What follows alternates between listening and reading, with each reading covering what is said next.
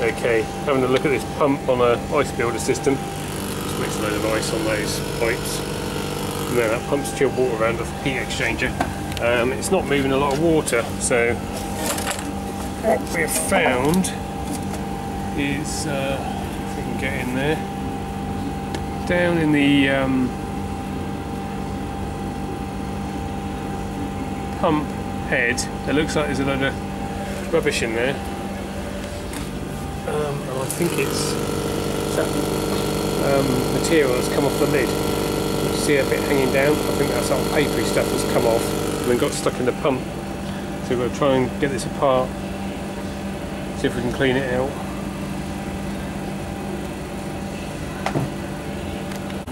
Okay, got that apart. We've had to get a chisel in there and just give it a few taps with a hammer and just work your way around gradually so it's not you're not trying to do all the work in one area.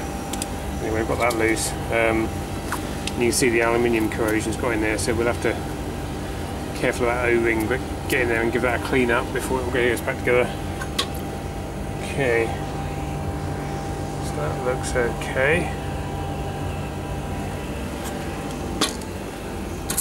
We put a little um, scratch mark on there, a little scratch mark on there, so we've got something to line it up with.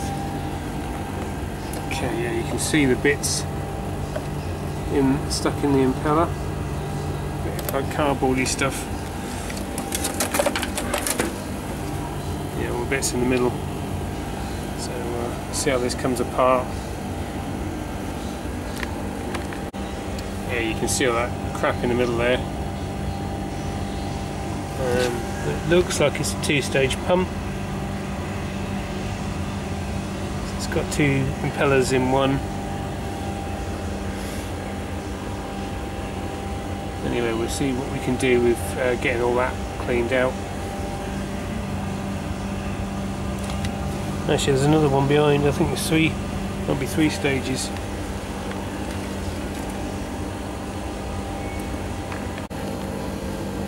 Right, got that nut off. Um, it's actually a reverse thread. I think I remember hearing something. When they've got these little nicks on the corners of the nut, it can signify it's a left-hand thread. Anyway, that's. Uh,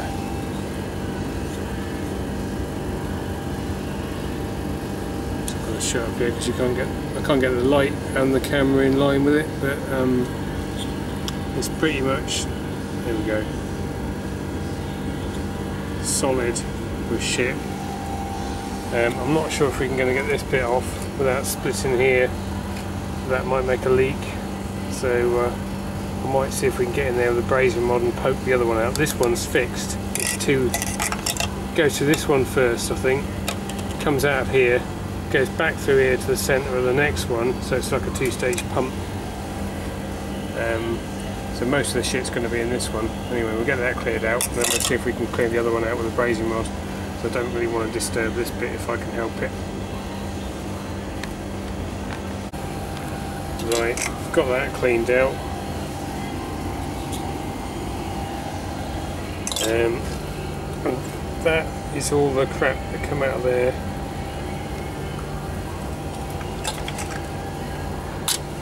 So now we've got got to try and get work in there and clean the other one out. I think we might have to try and take this apart. See how we get on. Right, got that off in the end. Um, it's not actually helped uh, much looking at the design of it. I think they must put this together and then spot weld it. Um, so we're not going to be able to clean that inner um,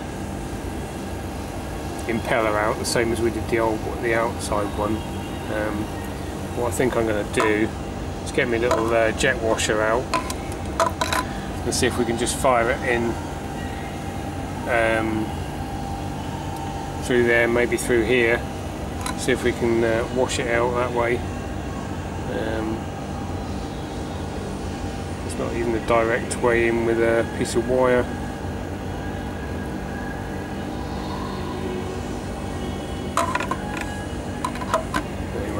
See how we get on.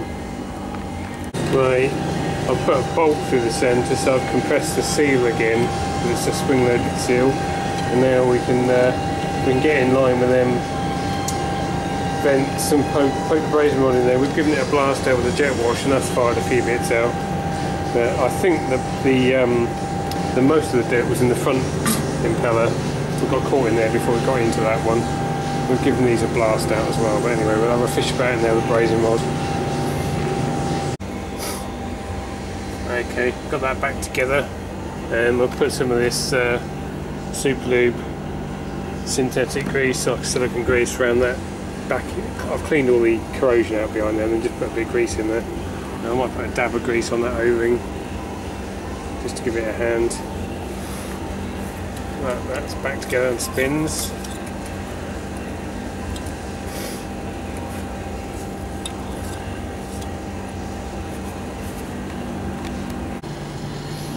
Right.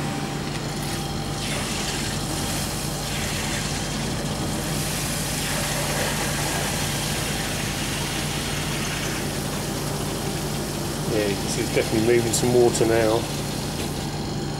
Needs all these little bits fishing out of here. All that crap under there.